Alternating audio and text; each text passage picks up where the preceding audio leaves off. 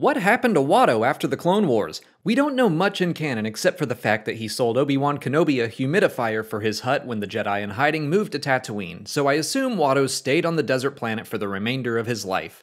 If we jump over to Legends content, specifically the Star Wars Galaxies MMO, that seems to be exactly what he did. He kept a junk shop on Tatooine at least up until the Battle of Endor. According to the book Tatooine Ghost, Anakin's childhood friend Wald eventually took over Watto's shop and renamed it Wald's Parts.